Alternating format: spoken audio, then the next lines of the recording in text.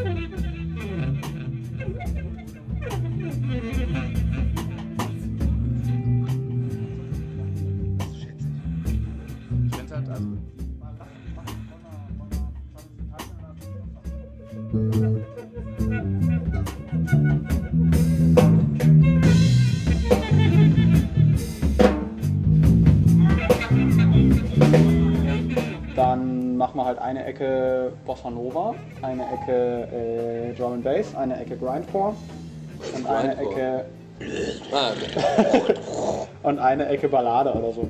Ich meine, ich habe ja dann den leichtesten Job dabei. Also. Deswegen. Also lass uns was machen. Irgendwie.